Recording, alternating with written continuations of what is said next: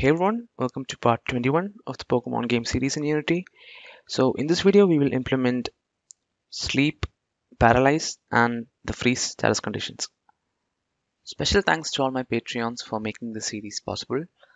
By becoming a Patreon, you can support me in the making of the series and get some cool rewards like access to the complete project files of the series. So let's start the video. Okay, so let's look at how to implement sleep, paralyze, and freeze. So these statuses might prevent a Pokemon from performing a move. For example, if a Pokemon is paralyzed, then one out of four times the Pokemon won't be able to perform the move during its turn. So to implement this, we need to be able to define a function that is executed just before performing the move. Okay, so in the condition class, I'll create another action called on before move.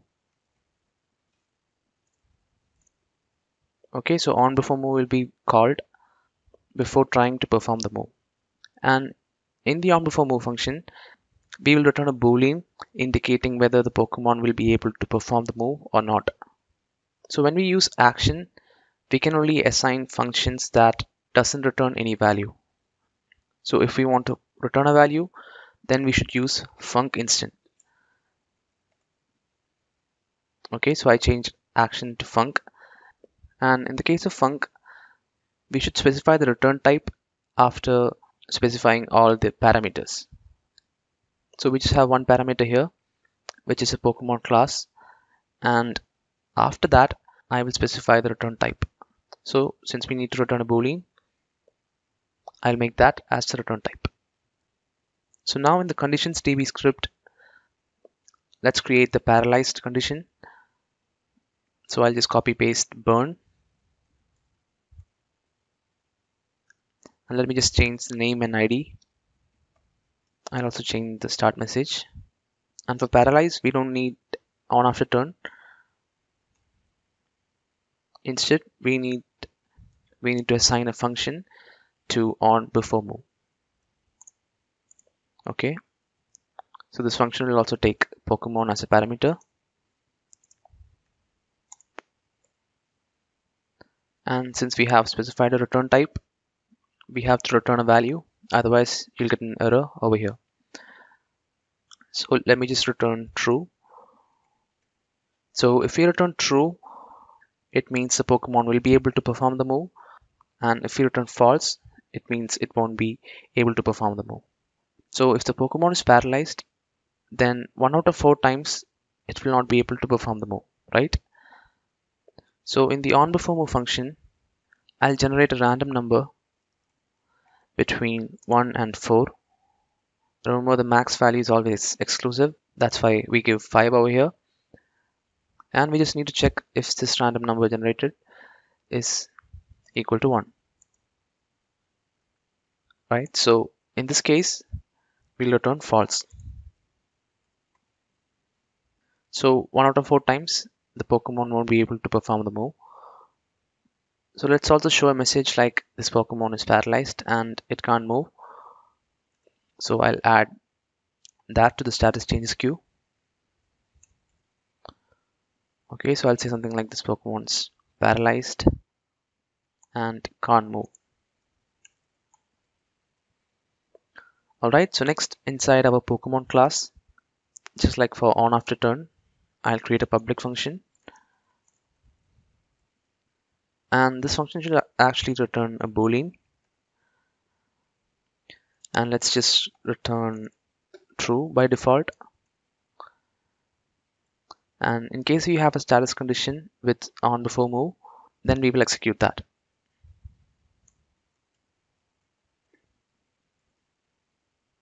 So if on before move is not null we can just return the value that we get after calling it okay so for the pokemon i'll just pass this pokemon. And we don't have to use dot invoke in this case since we have already checked it from here. So the reason why i didn't write it like this using the null conditional operator is because it will return null in case the status doesn't have an on before move function. And we don't want that. We want to return either true or false. All right So let's actually call this function before performing the move. So inside battle system, in run move, we will call on before move on the source Pokemon. Okay, so on before move will return a boolean. So let me store that in a variable called can run move. So if this function returned false, then we just want to stop this coroutine and we don't want to perform the move, right? So I'll check if can run move is false. And in that case, I'll use yield break to stop the coroutine. So we won't execute any of this and the move won't be performed. But before we stop the coroutine, we need to show all the messages in the status changes queue. So let's call the show status changes function. And for the Pokemon, I'll pass source Pokemon. Okay, and we need to show the messages in the status changes queue even if can move is true. Since there's a chance that we might have pushed messages into it even if we return true. Alright, so we have done everything we need for the paralyzed status.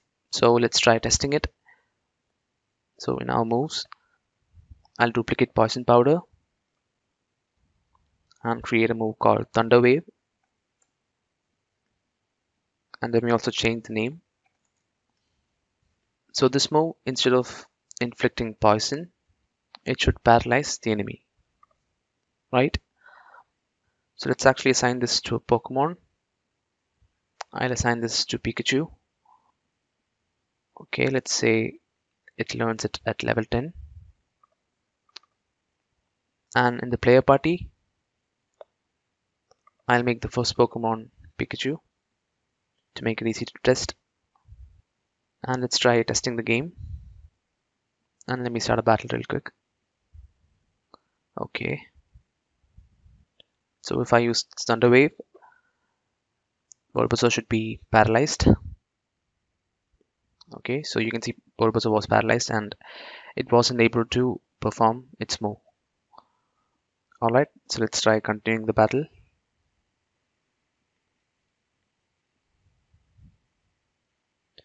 Okay, again you can see Bulbasaur was able to attack during its turn. So yeah, let's try again.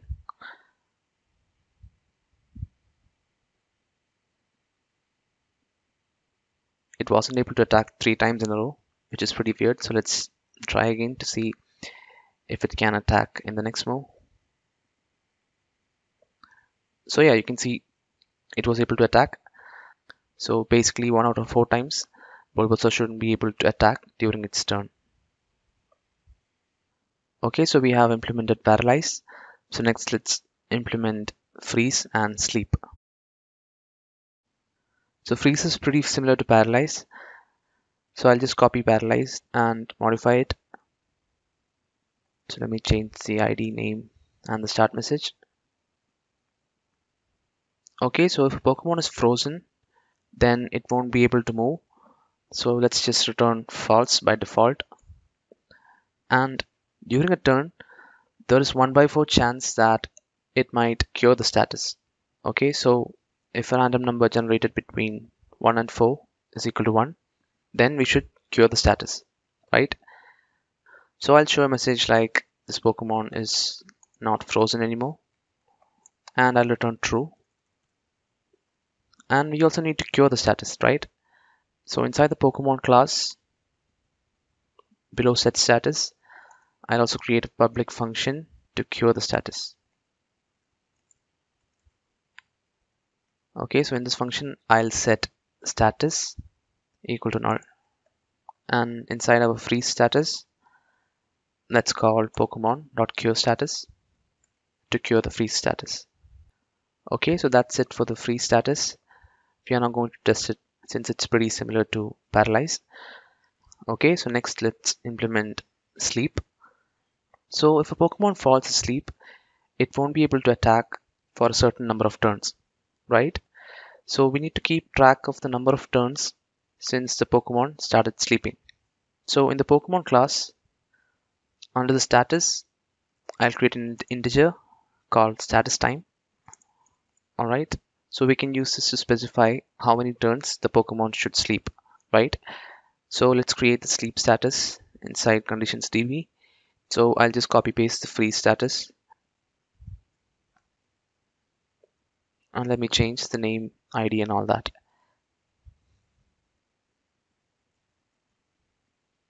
Okay so we don't need any of this logic. And in case of sleep we should also set the status time while setting the status right? So inside the condition class I'll create another action called onStart and it'll take a Pokemon as the parameter. Okay so we can set the status time inside onStart.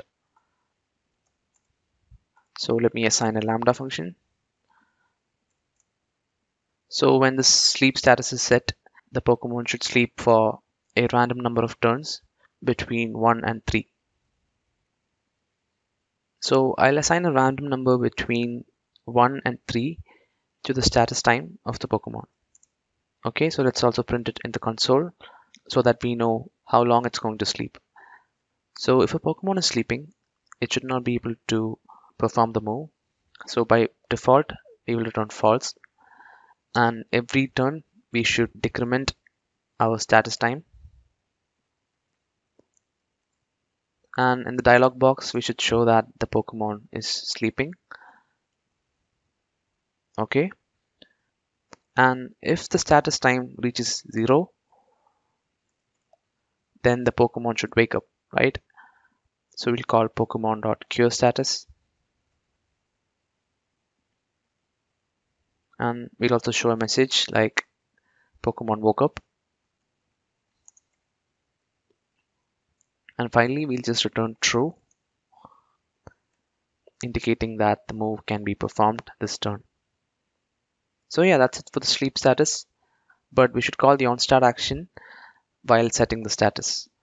So inside the set status function of the Pokemon I'll call status dot on start dot invoke. Okay so for the pokemon i'll pass this pokemon.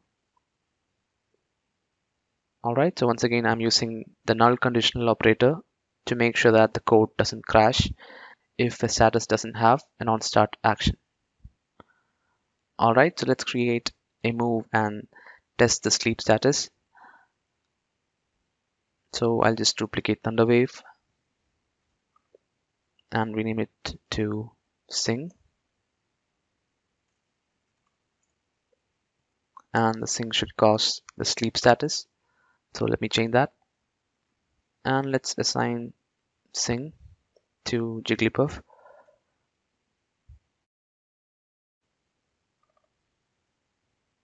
And let's say it can be learned at level 10 okay so in my player party I'll make Jigglypuff the first Pokemon. And let's test the game. So if I start a battle and if I use Sing, you can see that Bulbasaur has fallen asleep and it wasn't able to perform the move. And in our console, you can see that it will sleep for three moves. Okay, so let's test that.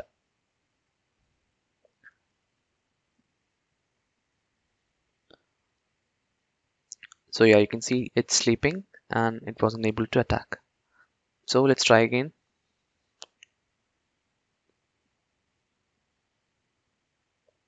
And yeah, again it wasn't able to attack since it was still asleep. So it should wake up this turn. Let's test that. Okay, yeah, you can see what was a wake up and it used a tackle. So yeah, sleep is working just like we wanted. So we're done with all the status conditions. So I'll stop the video here. If you think this video is helpful, please leave a like and subscribe to my channel. That really helped me out. So I'll see you in the next video.